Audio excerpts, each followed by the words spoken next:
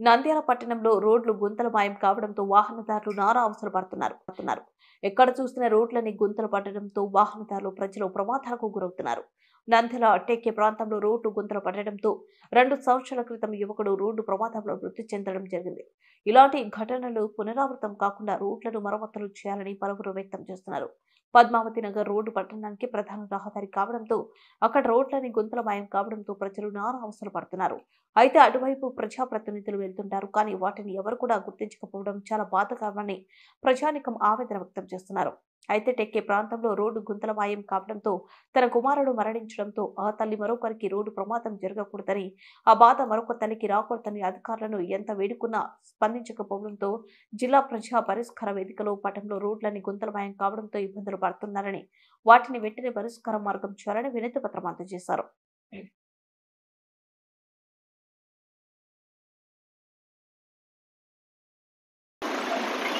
మంద్యాల municipality వారికి విజ్ఞప్తి. ఇక్కడ మెయిన్ రోడ్డు టెక్కిలో ఎస్బీఐ కాలనీ టర్నింగ్ టెక్కిలో బాలాలజీకి ఎదురుగా మూడు లోతు గుంతలు ఉన్నాయి ఈ గుంతల వలన వచ్చే వాహనాలకు చాలా ఇబ్బందికరంగా ఉంది. అదేవిధంగా ఈ ఏరియాలోనే లెఫ్ట్ సైడ్ ఒక రెండు సంవత్సరాల క్రితం ఒక అబ్బాయి ఇలాంటి ఈ ఈ- ఈ అస్తవ్యస్తంగా ఉన్న రోడ్డు వల్లనే ప్రమాదానికి గురిపోయి గురయ్యి చనిపోయాడు. ఒకటే ఒకడు అబ్బాయి వాళ్ళ ఇంట్లో. అట్లా ఇక్కడ కూడా జరిగే అవకాశం ఉంది. కాబట్టి మున్సిపాలిటీ వాళ్ళు ఇవన్నీ గ్రహించి ఈ ప్రాంతం అయితేనేమి అదేవిధంగా మన పద్మావతి నగర్ మెయిన్ రోడ్లో కూడా మూడు లోతు గుంతలు ఉన్నాయి. కాబట్టి ఇవన్నీ గ్రహించి ఖచ్చితంగా ఈ రోడ్లను మరమ్మతు చేయాలని కోరుకుంటున్నాను కలెక్టర్ గారికి తెలియజేయడం ఏమనగా మున్సిపాలిటీ వాళ్ళు ఆర్ఎన్బి వాళ్ళ పర్మిషన్ లేకుండా ఎక్కడ పడితే అక్కడ పైప్ లైన్ కోసం గుంతలు తవ్వడము వదిలేయడము. ఇదే గుంతలు తవ్వడము వదిలేయడం వల్ల నా కొడుకు జూలై ముప్పై ఒకటి రెండు వేల ఇరవై సంవత్సరంలో మరణించినాడు. ఇదే తప్పిదం మళ్ళీ ఒక సంవత్సరం కిందట మనజీర్ జిల్లాని సామున్ ఉన్నప్పుడు సార్ ఉన్నప్పుడు ఒక కంప్లైంట్ ఇచ్చాను. కంప్లైంట్ ఇస్తే మళ్ళీ అది బూడ్చినారు. మళ్ళీ ఎక్కడ పడితే అక్కడ తవ్వడము వేయడము వీళ్ళకి ఇదే పని అవుతా ఉంది. దయచేసి నాలాగా ఇంకా ఎవ్వరు బాధపడకూడదు.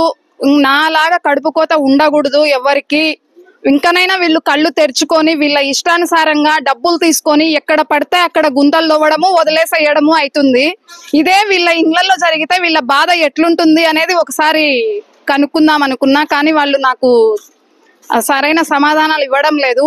అందుకనే కలెక్టర్ గారికి ఈరోజు అర్జీ ఇచ్చి నా బాధ తెలియజేసుకున్నాను. ఈ గుంతలు వీలైనంత తొందరగా బూడ్చి జనాలను ప్రాణాలను కాపాడవలసిందిగా కోరుచున్నాను. మున్సిపాలిటీ వాళ్ళకు నమస్కారం చేస్తాను. ఇంకా పర్మిషన్ లేకుండా గుంతల్లో ఓడకుండా అతి తొందరగా బూడ్చి ప్రాణాలు కాపాడండి. దయచేసి. మీరే సార్ పరిస్థితి ఈ రోడ్డు సరి ఈ రోడ్డు సరిగా లేదు. అందరు కింద పడిపోతున్నారు. సార్ మేము ఆల్రెడీ న్యూస్ పేపర్ చెప్పాము. చెప్పినా కానీ ఎవరు పట్టించుకోవాలి ఇది దీని ప్రాబ్లం ఏంది? మీరు పరిస్థితి మీరే చేయాలి సార్. ఇది సాల్వ్ చేయాలి సార్. మాకు చాలా ఇబ్బందికరం ఉంది. ఈ వెహికల్స్ అన్ని ఇట్టే వస్తున్నాయి. మా షాప్కి నుంచి పోతున్నారు అందరూ. కింద పడిపోతున్నారు. ఆల్రెడీ మన ముసలి ముగ్గురు కింద పడినారు. దీని పరిస్థితి ఏదో మీరే మీరే చెప్పాలి మీరే చూసుకోండి. రోడ్డు కొంచెం నీటి లేదు సార్ గలీజ్ ఉంది. అది ప్రాబ్లం సార్. చాలా మొత్తం పద్మాచారాలలో ఇట్లేదు సార్. మాకు చాలా ఇబ్బందికరంగా ఉంది. వెహికల్ వల్ల ఇట్లేస్తున్నాయి కొంచెం చూడండి సార్ కొంచెం నీట్గా సార్. కనీసం మొత్తం వేసి ఇవ్వాలనే సార్ కనీసం. మన వాళ్ళే మున్సిపాలిటీ వచ్చి దోయిపోయారు. మాకు ఇబ్బందికరంగా ఉంది చేపల్లో మాకు మాకు వ్యాపారం ఎట్లా సార్? బిజినెస్ కావాలి ఏం లేదు సార్.